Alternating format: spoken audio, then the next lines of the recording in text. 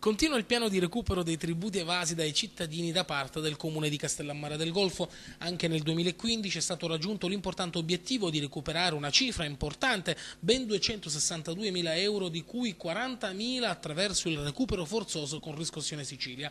Funziona il sistema di recupero dei tributi da parte del comune castellammarese che anche per l'anno trascorso, così come fatto anche per il 2014, è riuscito a racimolare un'importante somma per ridare linfa e respiro alle proprie asfittiche casse. Una cifra rilevante che riguarda la vecchia imposta comunale sugli immobili l'ICI, oggi rinominata con il nome di IMU.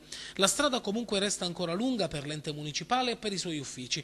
Infatti, secondo quanto accertato dall'ufficio tributi, resta ancora un residuo da recuperare per tasse sull'ICI pregresse mai pagate che supera i 700.000 euro, segno che esiste in paese, così come in moltissime altre realtà della provincia trapanese e in generale della Sicilia, un'ampia sacca di evasione difficile comunque da debellare. Oltretutto il Comune sta procedendo a questa accelerazione sul fronte del recupero tributi anche per ridurre i residui attivi, problema anche questo di molti enti locali e che è stato più volte rilevato come criticità dalla Corte dei Conti.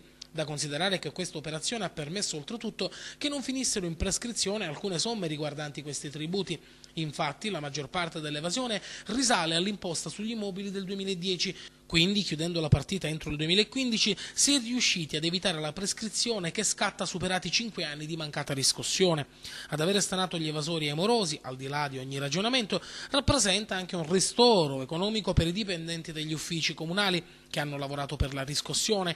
Infatti, all'incirca 26.000 euro finiranno nelle loro tasche per effetto del compenso incentivante previsto dal Comune, in aggiunta agli istituti previsti in sede di contrattazione collettiva nazionale e aziendale.